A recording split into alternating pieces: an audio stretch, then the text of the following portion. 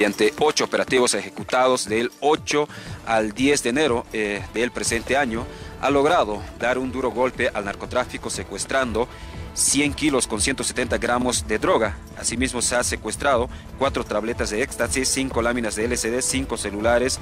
Este trabajo nos ha permitido aprender a 12 personas vinculadas a actividades ilícitas del narcotráfico. Asimismo se ha secuestrado 4.024 libras entre hoja de coca eh, boliviana y peruana que estaba transitando por nuestro territorio nacional de manera ilegal y fruto de este trabajo se ha afectado al patrimonio del narcotráfico en 267.200 dólares.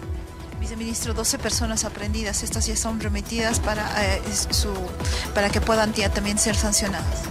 Estas 12 personas están a la espera de sus medidas cautelares. El narcotráfico ha aprendido a estos sujetos quienes estaban en posición de sustancias controladas. Los operativos fueron ejecutados en diferentes partes del departamento de La Paz y también se ha aprendido ciudadanos de diferentes nacionalidades entre bolivianos y peruanos.